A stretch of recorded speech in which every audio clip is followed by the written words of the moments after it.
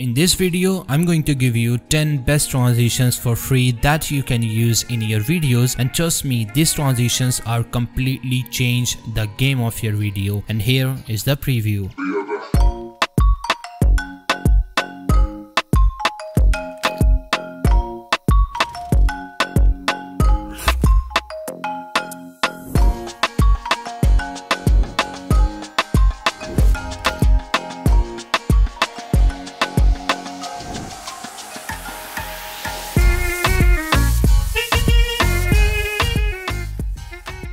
Hey everyone, hope you liked the preview. So these transitions are completely free. You get the download link in the description below. Must check it out. So now let's move to the next segment of the video is how you can use these transitions using Adobe Premiere Pro. So before moving further with this video, I have a small request to all of you. Please subscribe my YouTube channel. We are very close to 100k. So make sure to subscribe my YouTube channel, like this video and comment down below if you have any question about Premiere Pro or After after Effect. So here we are right inside of Adobe Premiere Pro. You can use any version of Adobe Premiere. It does not matter.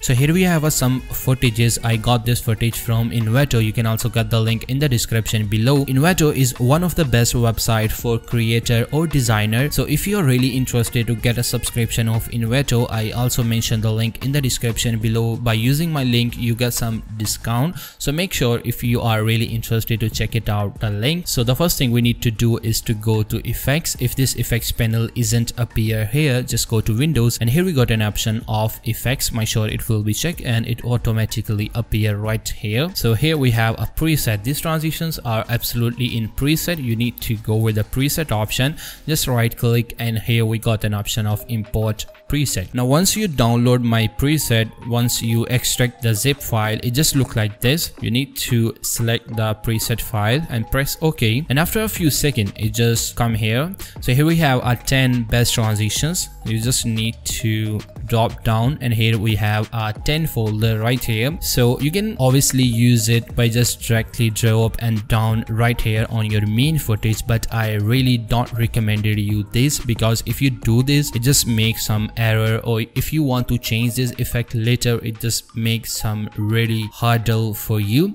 So just go to a project panel create a new adjustment layer. It just automatically detected your sequence setting.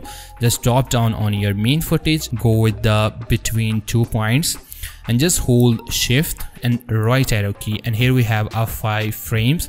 Just we need a 10 frame on each side right? So here is the 10 frame. So make a cut right here by press ctrl k. Just delete the extra layer.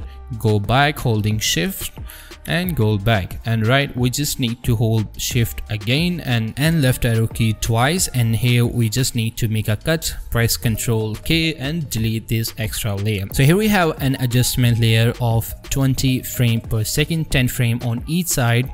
So here we have an effects and here you go. We have some cool transition right here. So as you can see some folders contain only one file and some folders contain two different files so let me explain you the folders that contain two different files you need two different adjustment layer for that but some folder contain a single file so you don't need double adjustment layer. You just need one adjustment layer to apply this transition. So let me show you. Here we have a color zoom in effect. So here we have a bottom and top file. You just need to make a two adjustment layer make it between the two footage and we just need to drop bottom at the bottom adjustment layer and the top file at the top adjustment layer. Here we go. Our transition is just ready. Here we go. We have a color zoom in transition right here. We just need to delete the attributes and now let's apply some effect that contain a single file so here we have an offset so i'm just apply it on my adjustment layer and here we go here you can see we can just use a single adjustment layer and we can done it. Now let's apply some other effect as well. We have a stretch glow which contain a two different file. We need a two adjustment layer obviously. We just drag and drop a bottom file at the bottom and drag a top file at the top adjustment layer and here we go.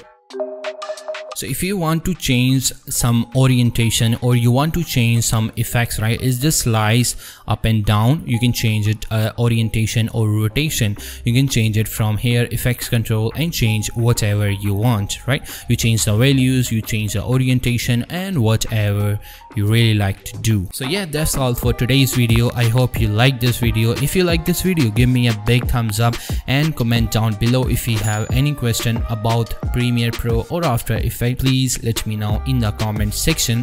Thank you so much for watching this video. I will see you in the next one